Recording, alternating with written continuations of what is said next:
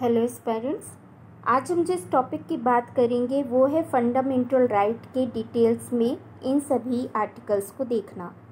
Last video में हमने six categories of fundamental right यानी मौलिक अधिकारों की देखी थी और हमने वहाँ पे ये भी देखा था कि इन छह अधिकारों में किस तरह से डिवीज़न किया गया है। आज हम उन्हीं आर्टिकल्स को थोड़े डिटेल में देखेंगे और आपको पता है कि फंडामेंटल राइट के जो आर्टिकल्स हैं, जो अनुच्छेद हैं, वो एग्ज़ाम के लिए बहुत ही इंपॉर्टेंट हैं। यहाँ से काफ़ी इंपॉर्टेंट क्वेश्चन एग्ज़ाम्स के पॉइंट ऑफ़ व्यू से बनते हैं। तो यहाँ पर आज जब हम बात करेंगे, वो है राइट टू इक्वेलिटी की, यानी समानता के अधिकार की। समानता के अधिकार को हमारे संविधान में फंडामेंटल राइट में अनुच्छेद फोर्टीन टू एटीन यानी आर्टिकल फोर्टीन टू एटीन में रखा गया है। राइट टू इक्वालिटी इसका टाइटल है। और यहाँ पे आर्टिकल फोर्टीन में जहाँ पे कानूनी समानता की बात की गई है, वहीं आर्टिकल फिफ्टीन में किसी भी प्रकार के जो विभेद हैं, उनके विभिन्न अधिक जो आधार हैं, वो बताए गए हैं कि उनके बेसिस पे डिस्क्रिमिनेशन नहीं होना चाहिए। आर्टिकल सिक्सटीन में समानता यानी प्रतिभा के आधार पर सभी को अपॉर्चुनिटी दी जाए। सेवेंटीन में कहा गया है छुआछूत को ख़त्म किया जाए और एटीन में कहा गया उपाधियों का अंत किया जाए। अब एक एक करके इन आर्टिकल्स को हम यहाँ पर देखेंगे। जो हमारा पहला यहाँ पे इक्वालिटी का आर्टिकल है राइट टू इक्वालिटी में, वो है आर्टिकल फोर्टीन यानी कि इक्वालिटी बिफोर लॉ इस आर्टिकल में यदि कानूनी समानता की बात की जाए तो इसमें दिया गया है equality before the law and equal protection of the law कानून के समक्ष समता और कानून के समान संरक्षण। यहाँ पर यह बताया गया है कि जैसे भारत एक विविधतापूर्ण देश है और यहाँ पर इन डाइवर्सिटी में सोशल जो इम्बैलेंस है वो भी साफ़ दिखाई देता है। कोई बहुत अमीर है, कोई बहुत गरीब है तो यहाँ पे कानून का समान संरक्षण से तात्पर्य है कि कानून जो है, वो सभी के लिए बराबर होगा। चाहे वो कोई बहुत पैसे वाला इंसान हो, चाहे वो कोई रिक्शे वाला हो। वहाँ पे जो कानून किसी भी अपराध के लिए मान लीजिए बनाए गए हैं तो दोनों ही कैटेगरीज के लिए इक्वल होंगे। कानून के समक्ष समता यानी इक्वलिटी बिफोर लॉ से सम, यहाँ पे तात्पर्य है कि कानून के सामने सब बराबर है। यहाँ पे कानून जो हमारा विधि है, वो किसी भी आधार पर, किसी व्यक्ति विशेष में किसी भी तरह का डिफ्रेंशिएशन नहीं करता।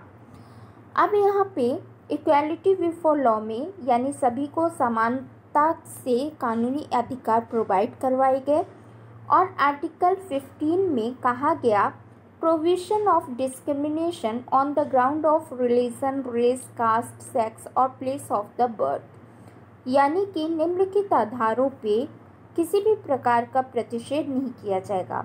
आर्टिकल 15 में ये जो आधार हैं, ये एग्ज़ाम में पूछे जाते हैं। आपको याद रखना ये फाइव बेसिस हैं। ये पाँच क्या हैं? जैसे कि एक है रिलीजन यानी कि धर्म। दूसरा है रेस यानी मूल वंश तीसरा है कास्ट यानी जाति। चौथा है सेक्स यानी लिंग। और पांचवा है प्लेस ऑफ़ बर्थ यानी कि जन्म स्थान तो किसी भी व्यक्ति में यहाँ पे इन पाँचों आधार पर धर्म, मूल, वंश, जाति, लिंग और जन्म के आधार के जो जन्म स्थान है उसके आधार पे किसी भी तरह का प्रतिषेध नहीं किया जाएगा। आर्टिकल 15 में, हाल ही में लास्ट ईयर एक मूवी भी बनी थी और उस मूवी में यहाँ पे इक्वालिटी के बारे में शुरुआत में प्रियम्बल का भी दिखाया जाता है क्योंकि प्रियम्बल में भी समानता की बात है और उसके बाद डिस्क्रिमिनेशन जो विभेद हैं, इन आधारों पे नहीं किए जाएँगे, ये भी समझाया गया है। यहाँ पे सब क्लॉसेस हैं और हर एक फंडामेंटल राइट में रीजनेबल रिस्ट्रिक्शंस भी हैं। पर जब हम यहाँ पे फिफ्टीन वन की बात करें तो फिफ्टीन वन में तो ये पाँच बेसिस हैं कि यहाँ पे इन आधार पे किसी भी तरह का विभेद नहीं किया जाएगा।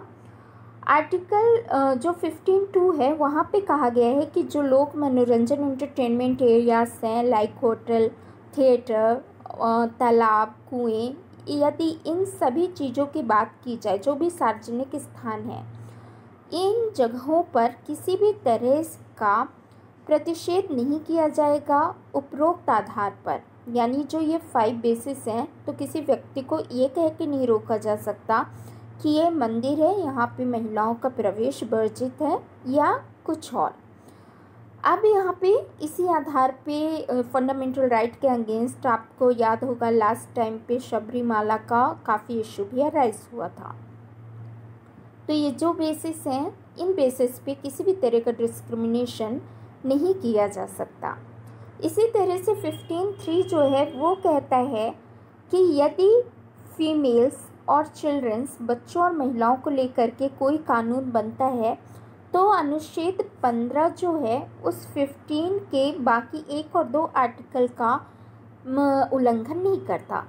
अर्थात, महिलाओं और बच्चों के लिए सरकार चाहेगी तो उनके संरक्षण के लिए कुछ विशेष उपबंध कर सकेगी, जो कि उपरोक्त अनुच्छेदों का, उपरोक्त फंडामेंटल राइट्स का जो प्रतिषेध है वो नहीं माना जाएगा। यानी कि फीमेल और चिल्ड्रंस के लिए कुछ स्पेशल प्रोविज़न्स बनाए जा सकते हैं। फिर फिफ्टीन फोर है। आर्टिकल फिफ्टीन फोर क्या कहता है? यहाँ पर जो एजुकेशनल और सोशल यानी सामाजिक और एजुकेशनल पॉइंट ऑफ़ व्यू से पिछड़े हुए जो लोग हैं, उनको मुख्य धारा में जोड़ने के लिए सरकार कुछ उपबंध कर सकती है। रिजर्वेशन का आप इसे एग्ज़ाम्पल मान सकते हैं। इस तरह से हमने यहाँ पर कुछ इंपॉर्टेंट सब क्लॉजेस देखे। फिफ्टीन फाइव भी काफ़ी इंपॉर्टेंट है जो कि एजुकेशनल जो एरियाज़ हैं, यानी कि जो प्राइवेट जैसे शैक्षणिक संस्थान हैं, उनके संबंध में कुछ उपबंध निर्देशित करता है। कि यदि पिछड़े वर्ग होंगे या अनुसूचित जाति, जनजाति, जो भी बैकवर्ड क्लासेस हैं, उनको एजुकेशनल इंस्टीट्यूशंस में रिजर्वेशन दिया जाएगा। तो इस तरह से ये आर्टिकल फिफ्टीन था। अब आर्टिकल सिक्सटीन की बात करते हैं। आर्टिकल सिक्सटीन है इक्वालिटी ऑफ़ अपॉर्चुनिटी और equal opportunity in matters of public employment अर्थात जो लोक नियोजन है, वहाँ अवसर की समता। अब इस टाइटल का मतलब है कि लोगों को उनकी प्रतिभा और उनकी क्वालिटी के बेसिस पे इक्वल अपॉर्चुनिटी दी जाए। ओके अब यहाँ पे आर्टिकल फिफ्टीन में तो था, जो फाइव बेसिस हमने देखे थे। आर्टिकल सिक्सटीन में यह स्टील में ही प्रमोशन इन जो रिजर्वेशन था, उसकी भी बात की गई थी। Okay now article seventeen article seventeen है एबोल्यूशन ऑफ़ अनटचेबिलिटी यानी कि अस्पृश्यता का अंत. साफ़ शब्दों में छुआछूत जो है उसको समाप्त करना इस आर्टिकल का सारांश है. इसी के तहत 1955 में आज़ादी के कुछ दिनों के बाद ही सिविल प्रोटेक्शन राइट एक्ट बनाया गया. सिविल संरक्षण अधिकार नियम और उसको और मजबूती देते हुए 1989 में S C S T act भी बनाया गया। तो इस तरह से समाज में समानता आए, लोगों के बीच छुआछूत ख़त्म हो तो इसको पूरी तरह से ख़त्म करने के लिए, अस्पृश्यता का अंत करने के लिए अनटचेबिलिटी को हटाने का जो उपबंध है, वो आर्टिकल सेवेंटीन में रखा गया है। आगे बात करते हैं आर्टिकल एटीन की। आर्टिकल एटीन कहता है उपाधियों का अंत। यानी कि एबोल्यूशन ऑफ़ टाइटल्स उपाधियों का अंत से तात्पर्य यहाँ है कि आज़ादी के समय जब ब्रिटिशर्स हमारे देश में हुकूमत कर रहे थे और उसी समय पर जो पहले से राजा महाराजा थे, वो उनका भी कहीं ना कहीं देशी रियासतों में शासन था।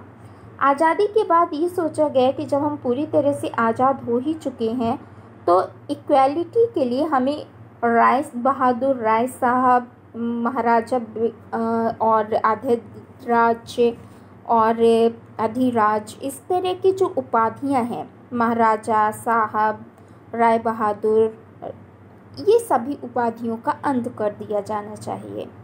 यदि कोई डिग्री की उपाधि है, जैसे डॉक्टर हुआ या सेना की उपाधि है, उनको रखा जा सकता है। तो ये था आर्टिकल एटीन। अब आर्टिकल नाइनटीन की बात करें, जो बहुत ही इम्पोर्टेंट आर्टिकल है यहाँ पे प्रोटेक्शन की बात की गई है फ्रीडम ऑफ़ स्पीच की बात की गई है। यानी कि स्वतंत्रता के जो अधिकार हैं, वो अनुच्छेद 19 से लेकर के 22 तक इनका प्रावधान किया गया है। और आर्टिकल 19 काफ़ी इंपॉर्टेंट आर्टिकल है। इसमें सिक्स सब क्लॉजेस भी हैं जिनको हम देखेंगे। और आर्टिकल 19 में महत्वपूर्ण बात यह है कि 19 में एक सब यहाँ पे सब क्लॉज था। 19 जी। और इस 19 जी को फोर्टी फोर्थ अमेंडमेंट से 1978 में हटा दिया गया था। जैसा कि हम जानते हैं कि 19 जी में जो था राइट टू प्रॉपर्टी था, संपत्ति का अधिकार था, और इसे मौलिक अधिकार से हटा करके लीगल राइट यानी विधिक अधिकार में शामिल कर दिया गया था। यहाँ पे आर्टिकल 19 को देखेंगे अब हम। आर्टिकल 19 में पहला जो पॉइंट है, वो क्या कह रहा है? Nineteen one all citizens shall have the right अब एक पॉइंट कहेगा to freedom of speech and expression यानी नाइनटीन वन की बात की जाए तो ये कहता है कि प्रत्येक व्यक्ति को अभिव्यक्ति की स्वतंत्रता और भाषण का अधिकार है। अब यहाँ पे जो एग्ज़ाम में क्वेश्चंस बनते हैं, वो सामान्यतः बनते हैं कि प्रेस ऑफ़ फ्रीडम क्या इसी का पार्ट है? तो याद रखना है कि मूलतः तो ये हमारे संविधान में शामिल नहीं था, लेकिन सुप्रीम कोर्ट की व्याख्या के बाद प्रेस की जो फ्रीडम है, वो 1901 के ही अंतर्गत, अभिव्यक्ति की स्वतंत्रता के अंतर्गत रखी जाती है। तो इस तरह से भारतीय नागरिकों को अभिव्यक्ति और वाक्य स्वतंत्रता का अधिकार दिया गया है। अब 1901 के ए के बाद यदि हम 19 बी की बात करें तो यहाँ पर है to assemble peacefully without arms यानी कि कोई भी जो व्यक्ति होगा, वो एक जगह पर असेंबल हो सकता है, एकत्रित हो सकता है, शांतिपूर्वक वहाँ पे बैठक कर सकता है, बिना हथियारों के। यहाँ पे ये ध्यान रखना है, जो एग्ज़ाम में पूछा जाता है, कि प्रत्येक व्यक्ति को यहाँ पर शासन के यदि किसी नीति है तो उसकी आलोचना का अधिकार है। ये शांतिपूर्ण यहाँ पे जुलूस निकाल सकते हैं, प्रदर्शन कर सकते हैं, लेकिन हड़ताल का अधिकार फंडामेंटल राइट नहीं है। राइट टू स्ट्राइक हमारे फंडामेंटल राइट में समाहित नहीं है। फिर आर्टिकल सी कहते हैं टू फॉर्म एसोसिएशन और यूनियन जब संघ बनेगा तभी लोग क्या करेंगे? एक दूसरे के विचार को ट्रांसमिट कर पाएँगे, उनका आवागमन हो पाएगा। तो हमारे आर्टिकल 19 सी में संघ बनाने की स्वतंत्रता भी दी गई है। और यहाँ पे याद रखना है खासकर कि नाइन्टी सेवेंथ कॉन्स्टिट्यूशन अमेंडमेंट में से सहकारी संघ, यानी कि कॉपरेटिव जो यहाँ पे यूनियन है कोऑपरेटिव कमिटीज़ हैं, सहकारी समिति है, उनको बनाने का अधिकार इसी नाइनटीन सी के अंतर्गत आएगा। नेक्स्ट है आर्टिकल नाइनटीन डी जब नाइनटीन डी की बात करते हैं तो ये है to move freely throughout the territory of India यानी भारत देश में आप कहीं भी, जो भारतीय संघ सीमा है, उसके अंतर्गत आप यूपी से बिहार बिहार से बम्बई बम्बई से मध्य प्रदेश मध्य प्रदेश से तमिलनाडु, दिल्ली से तमिलनाडु, कहीं भी स्वतंत्रता पूर्वक आवागमन कर सकते हैं। तो कहीं भी आवाजाही की पूरी स्वतंत्रता प्रत्येक भारतीय नागरिक को है। यूपी से बिहार जाने के लिए पासपोर्ट या वीज़ा नहीं चाहिए। हम आराम से आ जा सकते हैं। अगला आर्टिकल है आर्टिकल ई नाइनटीन ई, जिसमें कहा गया to reside and settle in any part of the territory of India अर्थात भारत के किसी भी भाग में हम जा कर के निवास कर सकते हैं, कहीं भी ज़मीन खरीद सकते हैं, अब तो जम्मू कश्मीर भी इसमें शामिल हो चुका है।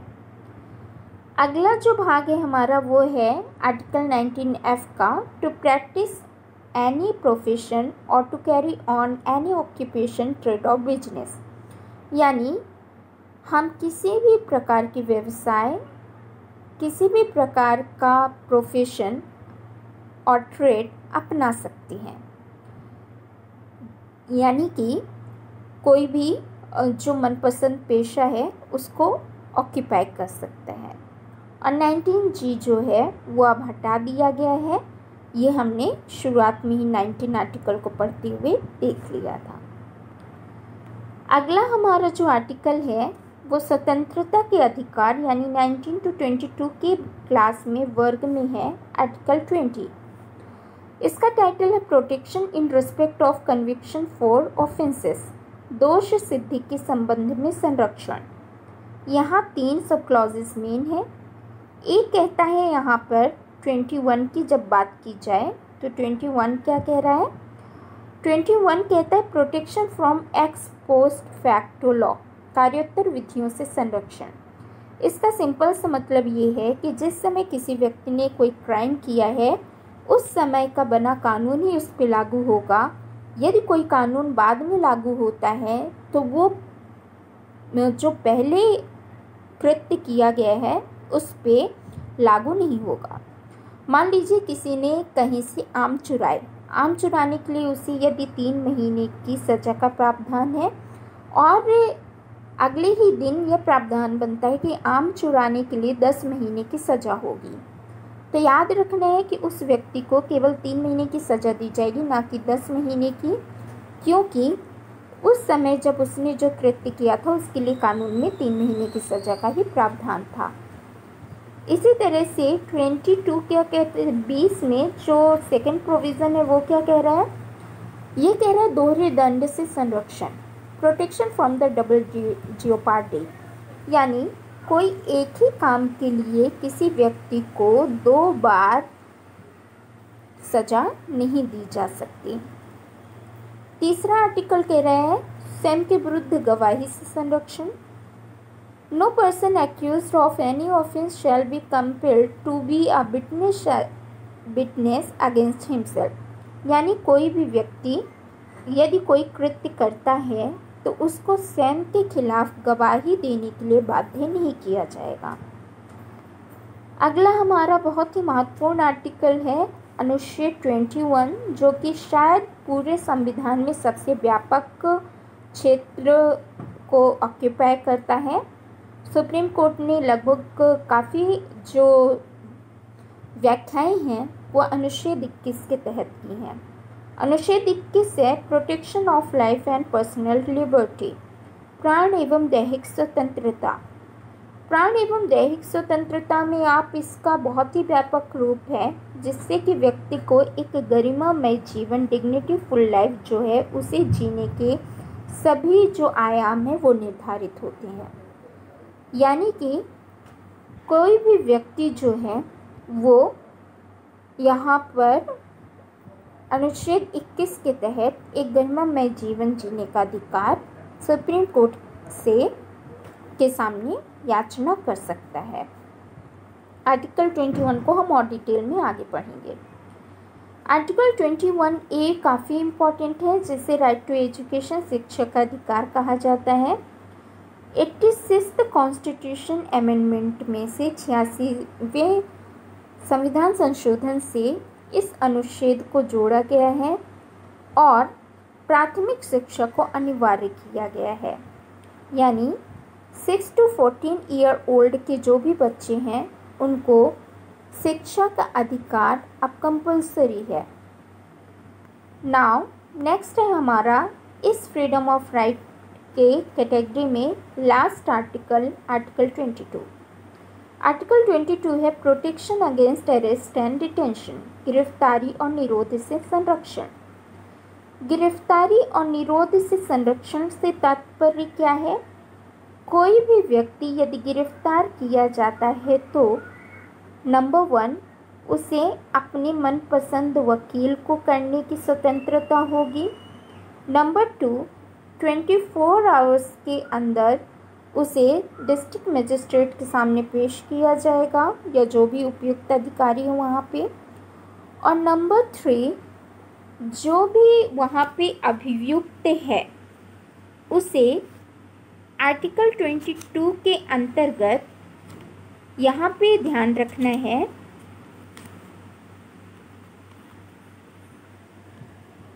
उस व्यक्ति को अरेस्ट का रीज़न, यानी गिरफ्तारी का जो कारण है, उसे जानने की स्वतंत्रता होगी। तो ये है हमारा आर्टिकल ट्वेंटी टू। अब यहाँ पर इन सभी फंडामेंटल राइट्स के लिए ये पूरी तरह से यहाँ पर असीमित नहीं है, यहाँ पर रिजनेबल रिस्ट्रिक्शंस हैं। यानी कि युक्ति युक्त पर जो यहाँ पर बंद है, उनको अप्लाई किए गए रिजनेबल रिस्ट्रिक्शंस का मतलब कि यदि कहीं भी देश की एकता, अखंडता या किसी भी तरह का ऐसा प्रतीत होता है कि ये उसके अगेंस्ट जा सकती है तो यहाँ पर रिजनेबल रिस्ट्रिक्शंस भी सभी को बाउंड करने के लिए लगाए गए हैं। तो ये था हमारा आर्टिकल 14 से लेकर के 22 अभी यहाँ पे हम इन शॉर्ट से रिवाइज करेंगे कि अभी हमने क्या देखा। यहाँ पे हमने देखा कि हम भारतीय संविधान में अनुच्छेद बारह से लेकर के पैंतीस में जो फंडामेंटल राइट्स हैं, उनकी बात कर रहे हैं। इन फंडामेंटल राइट्स को मौलिक अधिकारों को भारतीय संविधान के भाग तीन में रखा गया है। भाग तीन में हमने बारह से लेकर के आर्टिकल, जो थर्टी टू है, इसको सिक्स क्लास यानी छः वर्गों में विभाजित किया है। और यहाँ पे आज हमने देखा है आर्टिकल फोर्टीन से लेके आर्टिकल ट्वेंटी टू जिसमें आर्टिकल फोर्टीन से लेकर के आर्टिकल एटीन तक इक्वेलिटी यानी समानता की बात की गई है। आर्टिकल फोर्टीन कहता है कानूनी समानता आर्टिकल फिफ्टीन कहता है, किसी भी तरह का विभेद नहीं हो समाज में, और वो विभेद धर्म, जाति मूल वंश लिंग और जन्म स्थान के आधार पर नहीं होना चाहिए। आर्टिकल सिक्सटीन कहता है, सभी को बराबरी का अवसर मिलना चाहिए। आर्टिकल सेवेंटीन कहता है, छुआछूत खत्म होनी चाहिए। आर्टिकल एटीन कहता है, उपाधियों का अंत होना चाहिए। तो ये था फोर्टीन से एटीन जो समानता की बात कर रहा था। आर्टिकल 19 टू 22 में हमने स्वतंत्रता की बात की। स्वतंत्रता में सबसे महत्वपूर्ण आर्टिकल जो आर्टिकल 19 था, उस 19 में हमने उसके उपबंधों को भी देखा है, जो सब क्लाउजेज हैं। 19 ए में अभिव्यक्ति और वाक्य की स्वतंत्रता है। 19 बी में असेंबल शांतिपूर्वक संगठित होने की स्वतंत्रता है। आर्टिकल 19 सी में संघ बनाने की स्वतंत्रता है। आर्टिकल 19 डी में स्वतंत्रता पूर्वक कहीं भी आने जाने की स्वतंत्रता है देश के अंदर। आर्टिकल 19 ई में कहीं भी भारत देश में निवास करने या बसने की स्वतंत्रता है। और 19 एफ़ में किसी भी व्यवसाय और किसी भी जो पेशा है, उसे अपनाने की स्वतंत्रता दी गई है। इसी तरह से अनुच्छेद 20 में जो यहाँ पे कन्वेंशन फॉर ऑफेंसेस के लिए फ्रीडम दिया गया है आर्टिकल 21 में जो जीवन की स्वतंत्रता है, उसकी बात की गई है। और या जीवन का अधिकार हम इसे कह सकते हैं। और आर्टिकल 22 में गिरफ्तारी और जो निरोध है, उससे संरक्षण की स्वतंत्रता दी गई है। यानी कोई भी व्यक्ति अपनी गिरफ्तारी का कारण जानेगा, अपनी रुचि के अनुसार वकील करेगा और 24 घंटे के अंदर उसे मजिस्ट्रेट या उसके समकक्ष अधिकारी के समक्ष प्रस्तुत किया जाएगा। तो ये थे हमारे आर्टिकल्स का एक भाग जिसमें हमने इंपॉर्टेंट आर्टिकल्स 14 टू 22 की बात की। ओके? एग्ज़ामिनेशंस में इनके जो टाइटल्स हैं वो तो याद ही रखनी है। बाकी जो हमने अभी देखा था कि नाइनटीन ए में ये याद रखना है कि फंडामेंटल राइट में राइट टू स्ट्राइक यानी कि हड़ताल का अधिकार शामिल नहीं है। ऐसे ही हमें याद रखना है कि यदि हम आर्टिकल ट्वेंटी वन की बात करें तो राइट टू इंफॉर्मेशन जो 2005 में एक्ट बना, ये इसी के अंतर्गत बनाया गया। इसके अलावा याद रखना है 21 ए में राइट टू एजुकेशन यानी कि शिक्षा के अधिकार की बात की गई है, निशुल्क शिक्षा होनी चाहिए छः से चौदह वर्ष तक के बच्चों के लिए। और यहाँ पे एग्ज़ामिनेशन में नाइनटीन ए में ही याद रखना है कि प्रेस की स्वतंत्रता को भी शामिल किया गया है फंडामेंटल राइट में freedom of speech and expression में। इस तरह से ये कुछ इंपॉर्टेंट चीज़ें हैं जो अलग से आपको दिमाग में बिठा के रखनी है। दो से तीन बार वीडियो देख लेना है ताकि आपको ये चीज़ें मेमोराइज हो जाए और आप एग्ज़ाम में बेस्ट परफॉर्म कर पाएँ। आप, इरीना बघेल यूट्यूब चैनल को सब्सक्राइब करें ताकि आपको इस तरह की इम्पोर्टेंट अपडेट्स मिलती रहें। Thank you